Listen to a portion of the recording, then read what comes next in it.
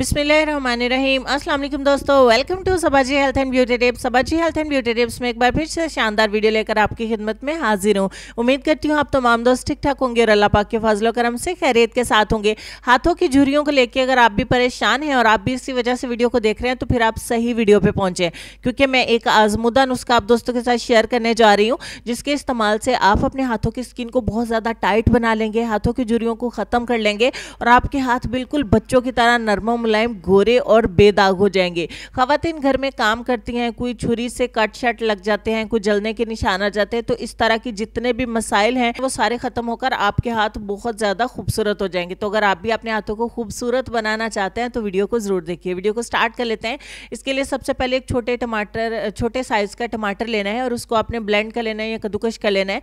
फिर आप इसे छलनी में डाल के इसका जूस निकाल लीजिए। तो चलिए जी, जूस में किसी किस्म की कोई बीज वगैरह नहीं होने चाहिए, क्योंकि हम इससे एक लोशन और क्रीम तैयार करेंगे, जिसके इस्तेमाल से आप अपने हाथों की जुरियों को ख़त्म करके अपने हाथों को गोरा कर सकते हैं, अपने हाथों की स्किन को टाइट कर सकते हैं। मैं पहले अर्ज़ कर चुकी हूँ कि इस नुस्खे को हम इस्तेमाल करते हैं। तो वक्त है लेसन का।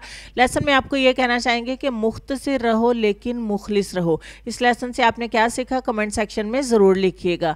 तो यहाँ पे हमने दो चम्मच टमाटर का जूस लिया था। उसमें एक बड़ा चम्मच भर के हम ऐड करेंगे कोकोनट ऑयल का, यानी कि नारियल के तेल का। उसके बाद हम इसमें आधा चम्मच ऐड करेंगे ग्लिसरीन का। और इन तीनों चीज़ों को अच्छे से मिक्स करेंगे, क्योंकि सर्दी है और नारियल का तेल जम चुका है तो आप इसे डबल बॉयलर पे गर्म कर लीजिए, या फिर आप इसे ओवन में गर्म कर लीजिए। तो चलिए, मैं इसको थोड़ा सा वार्म कर लिया, गर्म कर लिया, ताकि नारियल का तेल अच्छे तरीके से मिक्स हो जाए। तो नारियल का तेल इसमें अच्छे तरीके से मिक्स कर लिया, तीनों चीज़ों को अच्छे से यकजा करके एक लोशन तैयार करेंगे। इसको इस्तेमाल करने का तरीका मैं आपको बता देती हूँ, उससे पहले आप इसको स्टोर करते कर सकते हैं रूम टेम्परेचर पे 15 से 20 दिन के लिए।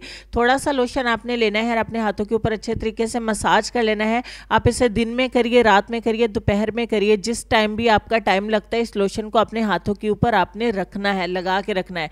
चंद ही दिन के इस्तेमाल से आपके हाथों की जुड़ियों में आप वाजह तौर पर फ़र्क देखेंगे और आपके हाथों का कालापन भी दूर होता जाएगा। उम्मीद करती हूँ वीडियो आपको अच्छी लगी होगी। नेक्स्ट वीडियो में मिलता है। तब तक के लिए खुश रहिए, आबाद रहिए, हँसते मुस्कुराते रहिए और देखते रहिए सबाज की हेल्थ एंड ब्यूटी टिप्स अल्लाह हाफिज़।